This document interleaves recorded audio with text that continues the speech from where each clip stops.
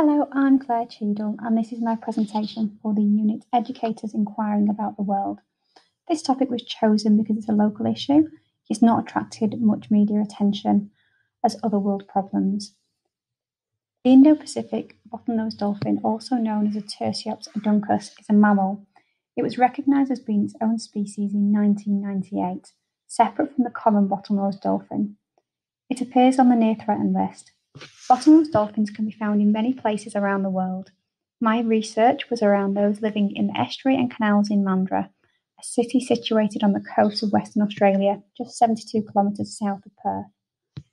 The Indo-Pacific bottlenose dolphin is smaller and has more teeth than the common bottlenose dolphin, which is not endangered. The average length is 2.6 metres and they weigh around 230 kilograms, with males being slightly larger than females. They are happy and social and live in pods of five to fifteen in shallow saltwater or brackish water, making the estuary and Mandurah their perfect habitat. There are an estimated 6,000 Indo-Pacific bottlenose dolphins in the oceans.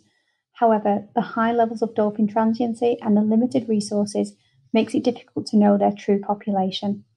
It is understood that it's reduced in the past 10 years and there is a risk of extinction around Australia. The following things are a threat to the survival of the Indo-Pacific bottlenose dolphin.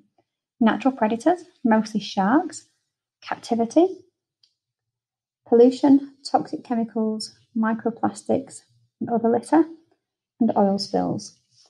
This research is around dolphins living in Mandurah becoming entangled in fishing line, which is endangering their lives. Fishing line is long, thin, strong and clear, making it difficult to see in water, and therefore unavoidable for dolphins. Once wrapped around the body, it starts to cut through the flesh. There are no bones in the dorsal fin. It contains main arteries and blood vessels, as you can see in this image. Mandurah estuary attracts both recreational and industrial anglers. Carelessness, disregard, or lack of understanding can lead to people not correctly disposing of their waste. These reports are evidence of the damage to the marine ecosystems from human interaction. This image shows a dolphin entangled in a fishing line. Once entangled, it's a complex operation to rescue the dolphin, and their survival depends on how quickly the issue has been resolved. How can we help?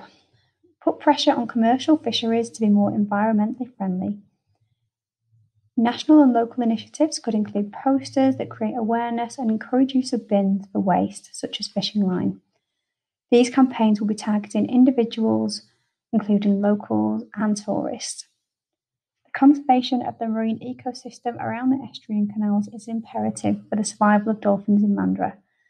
Saving living things such as mammals like dolphins from extinction and maintaining biodiversity allows humans to rely on ecosystem services Ecosystem services is a term explaining the importance of all living things and the roles they play in keeping the planet alive, creating oxygen for human survival. Taking care of the waterways, animals, and all living natural things is helping to preserve the planet for future generations. Dolphins are much loved. People enjoy watching these majestical creatures in their natural habitat. By taking care of our waterways and in turn these beautiful creatures, they can be enjoyed for years to come.